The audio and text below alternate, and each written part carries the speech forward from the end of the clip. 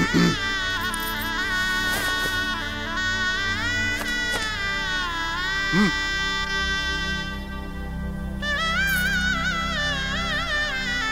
अब्बा को सुबह डॉट सात बजे नाश्ते की आदत है। गुड़िया साढ़े आठ बजे कॉलेज जाती है। अम्मा से अब घर का काम नहीं होता। और वैसे भी अब उनके ये आराम करने के दिन है। मेरे घर वाले मुझे सबसे ज़्यादा अज़ीज़ हैं इसलिए तुम्हारा ये फ़र्ज़ है कि तुम उनकी वालदेन की खिदमत गुजारी मेरा फ़र्ज़ नहीं बल्कि मेरा हुस्न सुलूक होगा। अगर इस बात पर हमारी लड़ाई हुई तो कमरे की हद तक महदूद रहेगी। मुझे किसी के सामने हकारत से न डांटेंगे न धुतकारेंगे। शहर से बाहर जाएँगे तो मुझे बताकर जाएँगे। किसी भी मामले की तह तक पहुँचे बगैर आप न मुझ पर शक करेंगे न मुझे ताना देंगे। लेकिन मैं तो हाँ।